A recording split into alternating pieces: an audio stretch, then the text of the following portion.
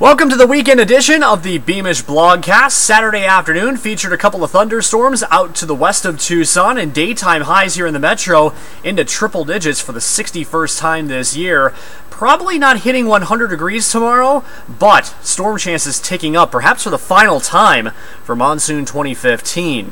We have the monsoon prediction index at 4 out of 10 for Tucson on your Sunday, a moderate threat of locally heavy rainfall, gusty winds, and the potential for blowing dust on I 10.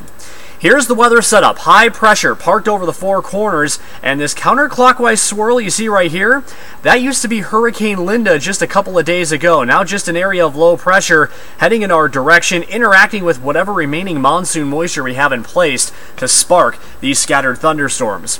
We start Sunday with mostly sunny skies. We could see a couple of thunderstorms by noon.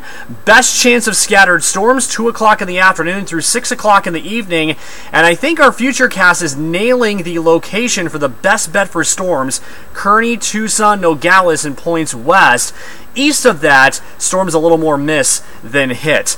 Then as we head into the work week, a reduction in storm chances, only isolated storms to call for your Monday and Tuesday. Then beyond that, I think game over for monsoon 2015 pending any development in the eastern Pacific. A 30% chance of scattered storms on your Sunday, 97 the forecast. High, isolated storms Monday and Tuesday, but if you don't get rain tomorrow, chances are you won't as you head back to work for the upcoming work week here, and then we dry out and see those daytime highs in the mid to upper 90s mid to late next week.